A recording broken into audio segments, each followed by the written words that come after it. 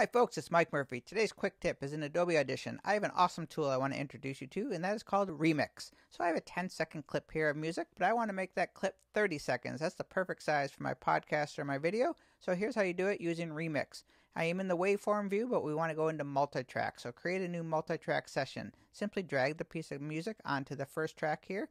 Make sure it's selected. You can go to Clip, remix, enable remix, or over here in the properties panel, if I just click enable remix, it'll go through and analyze it. And then I can go up here and hover my mouse, it'll turn into a double arrow. I can simply drag it to exactly how long I want, or go right here, click on this little check mark, stretch to exact duration, put 30 comma will be 30 seconds, hit enter, and Audition will go through and seamlessly pull that out to 30 seconds. You can see the little stitch marks here, but if you hover over and listen, you won't even tell it made it.